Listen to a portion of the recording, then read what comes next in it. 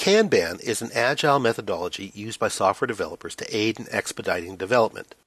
It does so by adopting a visual approach to scheduling a development cycle. In this video, I'll discuss what Kanban is, some of its benefits and attributes, and how Microsoft Visual Studio allows you to work with Kanban. Kanban is a scheduling modeler system.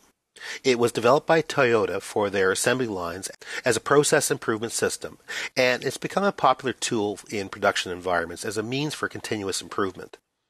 The Kanban model is meant to optimize just-in-time delivery, or JIT, a lean method for production that focuses on continued delivery of small, manageable tasks.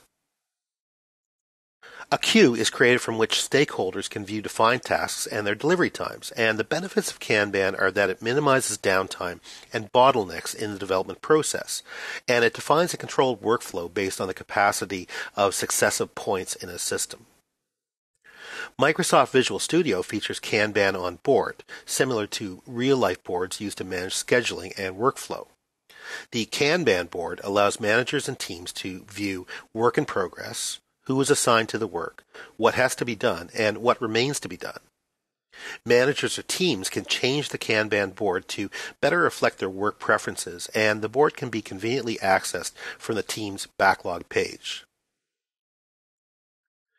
Kanban doesn't prescribe team roles, duration of iterations, or steps in the process.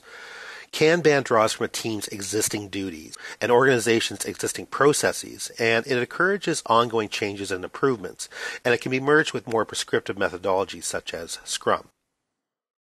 The characteristics of Scrum and Kanban have helped Agile experts by letting them combine the best features of both. The merged model is sometimes called the Scrumban. Kanban also shares attributes and works well with lean and agile methodologies in general.